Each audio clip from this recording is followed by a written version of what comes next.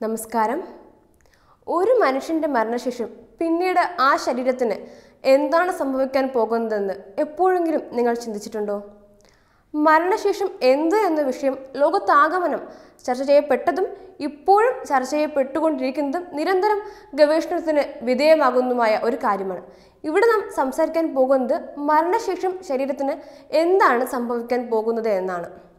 ജീവിതത്തിന് പല മാനങ്ങളുണ്ട്. ജനനം ശൈശവം ബാല്യം യൗവനം വാർദ്ധക്യം സ്നേഹവും സന്തോഷവും കാരുണ്യം. അതുപോലെ തന്നെയാണ് ദുഃഖവും ചവർപ്പും വേദനയും പിന്നെ വിജയത്തിന്റെ ആഹ്ലാദം നഷ്ടങ്ങളെക്കുറിച്ചുള്ള നൈരാശ്യം.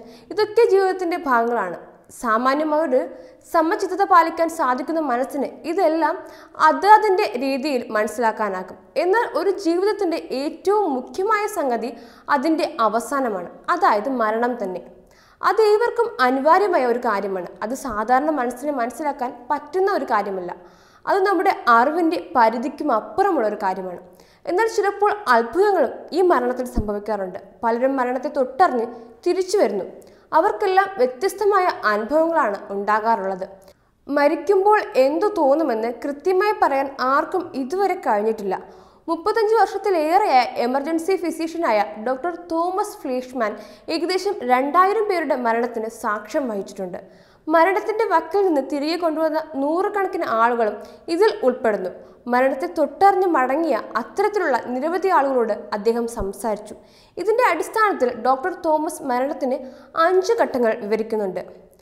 ആദ്യഘട്ടം എന്ന് പറയുന്നത് ഡോക്ടർ തോമസ് പറയുന്നതനുസരിച്ച് ആദ്യഘട്ടത്തിൽ വ്യക്തിയുടെ എല്ലാ വേദനകളും ആശങ്കകളും ഭയങ്ങളും അവസാനിക്കുന്നു. അവർക്ക് ശബ്ദമൊന്നും കേൾക്കുന്നില്ല. സമാധാനം മനസ്സിൽ തോന്നും. മരിക്കുമ്പോൾ സന്തോഷം തോന്നുന്നതിനെക്കുറിച്ചും ചിലർ സംസാരിച്ചു. എന്നാൽ ഈ രണ്ടാം ഘട്ടത്തിൽ ആളുകൾക്ക് വ്യത്യസ്തമായ അനുഭവമാണ് ഉണ്ടാകുന്നത്. ചിലർക്ക് വായുവിൽ പറക്കാൻ തോന്നും. ചിലർക്ക് ശരീരം ഭാരം കുറഞ്ഞതായി തോന്നും. ഇങ്ങനെയൊക്കെയാണ് രണ്ടാം ഘട്ടത്തിൽ സംഭവിക്കുന്നത്. എന്നാൽ മൂന്നാം ഘട്ടത്തിൽ വ്യക്തിക്ക് ആശ്വാസം നൽകുന്നതായാണ് പറയുന്നത്. ഇതിൽ തൊണ്ണൂറ്റിയെട്ട് ശതമാനം ആളുകളും തങ്ങൾക്ക് ആശ്വാസം ലഭിക്കുന്നുണ്ടെന്ന് പറഞ്ഞു. എന്നാൽ രണ്ട് ശതമാനം ആളുകളും ഭയങ്കര ശബ്ദങ്ങളും ഗന്ധങ്ങളും ഇഴജാതി ജീവജാലങ്ങളെയും കാണുന്നു. അതേസമയം നാലാം ഘട്ടത്തിലേക്ക് വരുമ്പോൾ മരിക്കുന്ന വ്യക്തി ഒരു ശോഭയുള്ള പ്രകാശം കാണുന്നു. വളരെ തിളക്കമുള്ളതും ചൂടുള്ളതും ആകർഷിക്കുന്നതുമായ ഈ പ്രകാശം ക്രമേണ ഇരുട്ടായി മാറുകയും ചെയ്യുന്നു. അഞ്ചാം ഘട്ടത്തിൽ മരണശേഷം തിരിച്ചെത്തിയവരിൽ പത്ത് ശതമാനം പേരും മനോഹരമായ ലോകം കണ്ടുവെന്ന് പറഞ്ഞു. മനോഹരമായ നിറങ്ങളും സംഗീതവും ഉണ്ടായിരുന്നു. അവിടെ എത്തിയപ്പോൾ ഒരു പ്രണയം തോന്നിയെന്നും ചിലർ അഭിപ്രായപ്പെട്ടിട്ടുണ്ട്.